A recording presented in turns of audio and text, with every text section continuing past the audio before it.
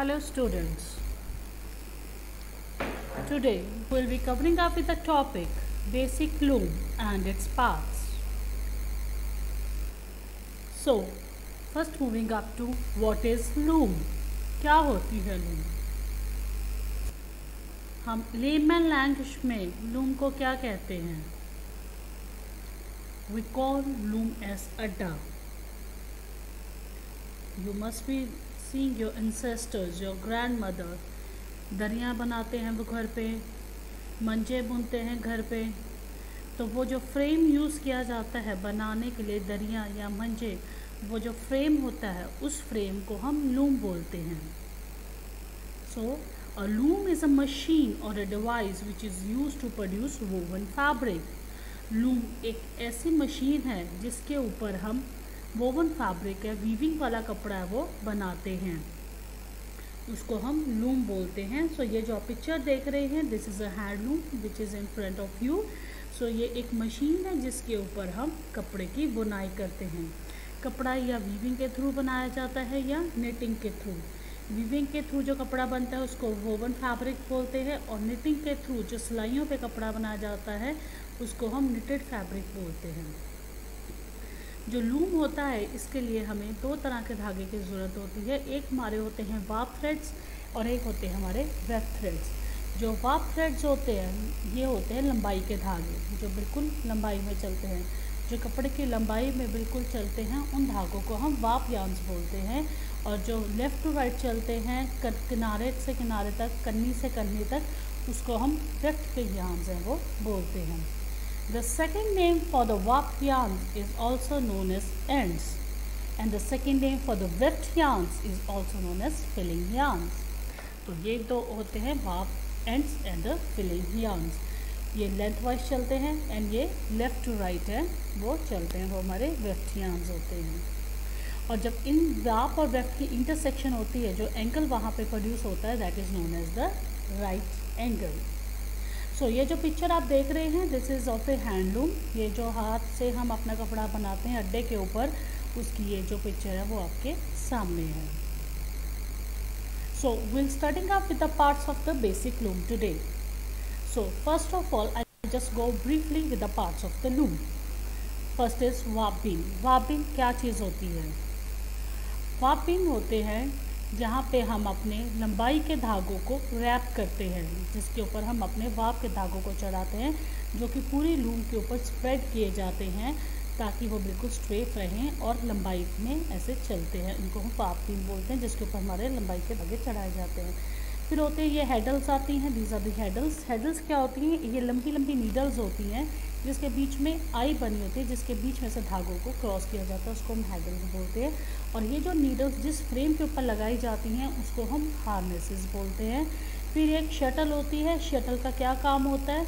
Left to right है, वो धागों को लेके जाना. आपके फिलिंग यार्न्स हैं, आपके वेफ्ट के धागे हैं, उनको लेफ़्ट टू राइट है, वो जो लेके जाती है, उस डिवाइस को हम शटल बोलते हैं. और ये रीड होती है रीड क्या होती है? कोम एक स्ट्रक्चर होता है, जो कि तुम्हारे जो शटल तुम्हारा जो धागा छोड़ती है उसको इस कपड़े के साथ जोड़ने के लिए इस रीड का इस्तेमाल किया जाता है।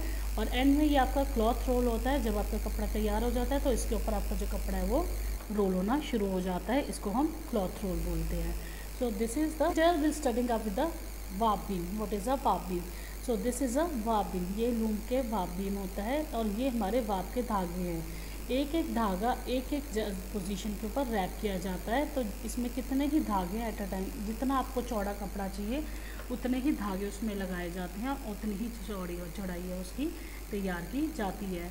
तो ये जो आपके धागे होते हैं, अगर आप देख रहे होंगे, इसमें बिल्कुल बिल्कुल parallel to each other they are laid parallel बिल्कुल स्ट्रेट टू स्ट्रेट है, एक दूसरे के बिल्कुल स्ट्रेट ऐसे पैरल है वो ले डाउन किए जाते हैं लाइक दिस और इसके ऊपर फिर इसको रैप किया जाता है। तो ये हमारे जो होते हैं, ये हमारे वाप बीन्स होते हैं, जिसमें हमारे लेंथ वाइज यांस जो होते हैं, वो रैप किए जाते हैं। और इस वाप बीम को हम अपनी बिल्कुल लास्ट पोजीशन जो हमारी लूम होती है उसके बिल्कुल एंड के ऊपर हम इस वाप बीम को लगाते हैं। This is on the last position of the loom then comes the heddles next part हमारा जो होता है, इसका वो होती है हैडल।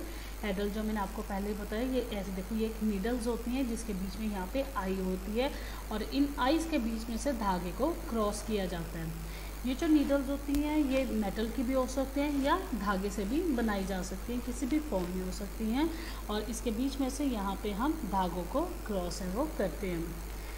हैडल्स में से जो धागे हैं जो है, वो बिल्कुल बीच में से और इसके एक नीडल में से सिर्फ़ एक ही धागा है, वो क्रॉस किया जाता है। So those are the heddles और ये जो हेडल्स होती हैं, वो एक वुडन फ्रेम या मेटल के फ्रेम के ऊपर फिक्स की जाती हैं, जिसको हम हार्नेसेस बोलते हैं। सो दिस इज़ जो हार्नेसेस जिसके ऊपर आपका जो हेडल्स जो हेडल्स हैं, वो फिक्स की जाती हैं। और इसके अंदर ये नीडल्स हैं, वो लगाई जाती हैं। So minimum two harnesses loom के ऊपर, अड्डे के ऊपर मिनिमम दो हार्नेसेस का यूज़ किया जाता है। दो हार्नेसेस मिनिमम हम क्यों यूज़ करते हैं? क्योंकि हमने उसके अंदर शेड फॉर्म करना होता है। दिस इज़ अ शेड जो कि हम फॉर्म करें जो आप इस पिक्चर में भी देख रहे हैं। तो इसमें क्या किया जाता है कि आधे धागे, जैसे और धागे one three five seven nine eleven thirteen fifteen seventeen nineteen twenty one like this जितने और धागे हैं, वो एक हार्नेस में से निकाले जाते हैं। और जो इवन के धागे हैं, वो दूसरे हार्नेस में से निकाले जाते हैं। तो उसमें क्या होता है, जब हम एक हार्नेस को ऊपर लेके जाते हैं और दूसरे हार्नेस को नीचे लेके आते हैं तो एक शेड फॉर्म होता है। Every time there is a shed formation एक वी टाइप शेड फॉर्मेशन तैयार होता है, जिसके बीच में से हम अपने फिलिंग यांस को क्रॉस करते हैं, जिससे जो हमारा कपड़ा है, वो बनना शुरू हो जाता है। तो वो जो हार्नेस हैं, वो हमारे शेड फॉर्म करने का काम करते हैं। मिनिमम दो हार्नेस यूज़ होते हैं जो ऑर्डनरी कपड़ा आप पहनते हो, उसके लिए फ़ाइव टू सिक्स हार्नेसेस तक का यूज़ किया जाता है। अकॉर्डिंग टू द पैटर्न हमें किस टाइप का डिज़ाइन है वो चाहिए? Thirty two thirty five harnesses norm इसमें डिज़ाइन पैटर्न अकॉर्डिंग यूज़ हो जाते हैं।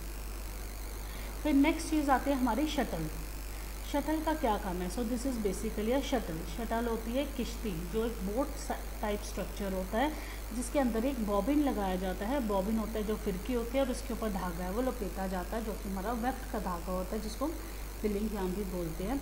उस वेफ्ट के धागे को इसके ऊपर लपेटा जाता है और इसका क्या काम होता है? लेफ़्ट टू राइट धागा छोड़ के आना। तो इस पिक्चर में अगर आप देख रहे हो, इन दिस वीडियो, ये एक शटल है। शटल क्या कर रही है? अपने धागे को लेफ़्ट टू राइट छोड़ के आ रही है।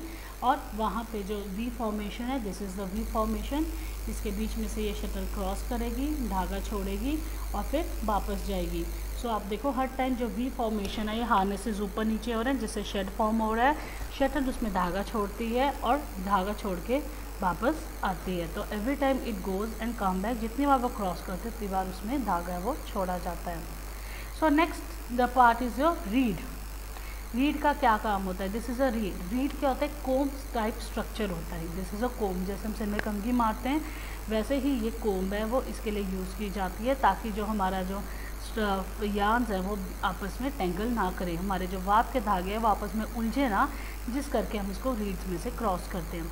एक एक धागा एक एक डेंट में से पास किया जा सकता है। दिस इज़ द स्पेस ये जो वायर्स के बीच में जो आप स्पेस देख रहे हो रीड के स्पेस को हम डेंट्स बोलते हैं। तो इस एक एक डेंट में से एक एक धागे को क्रॉस किया जाता है।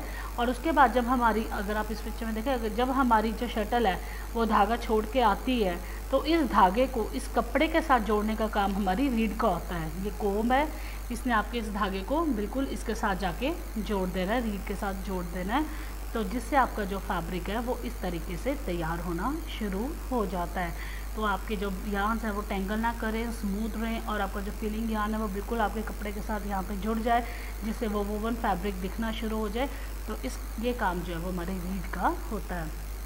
क्लॉथ होता है क्लॉथ रोल तो ये जो होता है, ये हमारा क्लॉथ रोल होता है, जिसके ऊपर हम अपना बुना हुआ कपड़ा है वो लपेटते हैं। एक वाप बीम होता है, जिसके ऊपर हम धागे लपेटते हैं और ये क्लॉथ रोल होता है, जो कि बिल्कुल फ्रंट पे लगाया जाता है, जिसको हम क्लॉथ रोल बोलते हैं। और इसके ऊपर हम अपने कपड़ों को लपेटते हैं। So this is the cloth roll और इसके ऊपर जो कपड़े हैं वो लपेटे जाते हैं। और ये हमारा क्लॉथ रोल होता है। तो एंड में जब हमारा कपड़ा तैयार हो जाता है तो वो इसके ऊपर रोल होना शुरू हो जाता है। Thank you